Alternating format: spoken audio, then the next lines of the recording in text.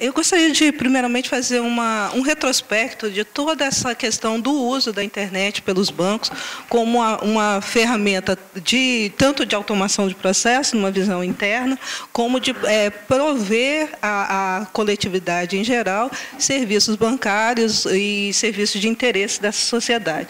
E, ao fazer isso, é, é, os bancos, é, como quase todas as instituições que se propõem a, a, fornecer serviços e transacionar financeiramente nesse mundo, são sujeitos aí a diversos ataques, a, a semelhança do que a gente viu hoje mais cedo, no que diz respeito à guerra cibernética, os bancos vivenciam no dia a dia, é, tanto do ponto de vista da intenção de obtenção de credencial com objetivo ilícito, como também as instituições que têm algum tipo de vinculação com posicionamento governamental ou patrocínio de alguma, algum evento, são sujeitas a, a hacktivismos. Né? Então, nesse sentido, o, o Marco Civil ele dá também um caráter aí, é, muito propício né, de, de informações dos direitos e deveres dos provedores de, de conexão, dos provedores de aplicação,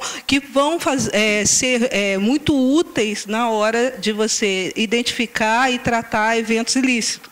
Né? Então, é, esse é um viés inegável de benfeitoria e benefício do, do Marco Civil, ao deixar claro papéis e responsabilidades com relação a esse ponto. Lógico que algumas coisas vão ficar mais é, evidentes quando do, do, processo de regulamentação e nós aguardamos aí com, com ansiedade isso acontecer.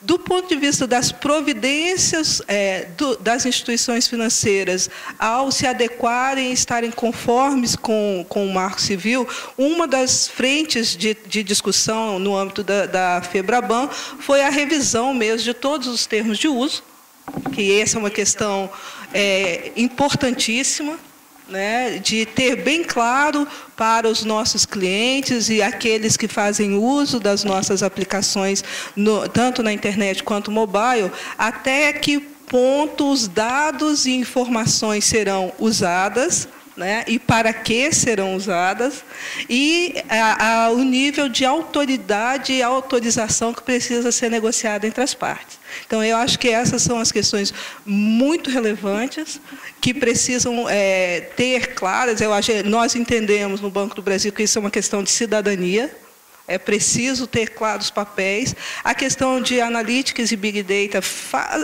essas, esses dois assuntos fazem parte do dia a dia. Então, precisamos, mais do que nunca, deixar claro ao nosso cliente qual é o uso que vai ser dado da informação que é transacionada no nosso ambiente computacional. Certo? Então, se a gente puder, é, puder discutir esses dois pontos, né?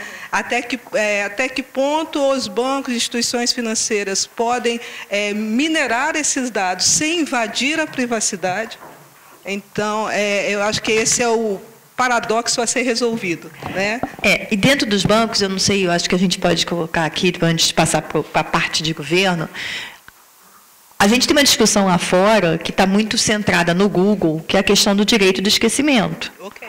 Eu acho que isso é uma questão que mais à frente certamente também deve pegar os bancos. Porque, por exemplo, se eu sou cliente do Banco do Brasil e resolvo trocar de banco, eu, será que eu vou poder pedir ao banco que esqueça, meu, que esqueça os meus dados? Quer dizer, ter, tirar, não, não usar mais nenhum dado? Vocês já estão pensando um pouco, quer dizer, eu digo não é o Banco do Brasil só, você falou muito de Febraban, de discussões.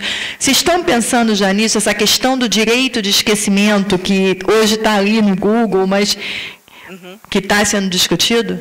Ah, é, é bem, um ponto bem importante a ser discutido. Lógico que, quando a gente fala de instituições financeiras, existem eventos e informações trocadas nesse ambiente que têm valor legal e que têm tempos de retenção e, e, e de disponibilização que são definidos em lei. Então, esse direito de esquecimento, entre aspas, eles, ele é limitado pelas questões legais. Então, é lógico que se a gente estiver falando de, navegação em página, o direito de esquecimento é, é um item a ser discutido. Mas quando a gente fala de movimentação financeira, transações que envolvem investimento, pagamentos, isso não se, não se questiona, né? porque existem outras legislações que vão estar é, sendo é, analisadas e que têm um valor maior do que o direito de esquecimento para isso. Tá?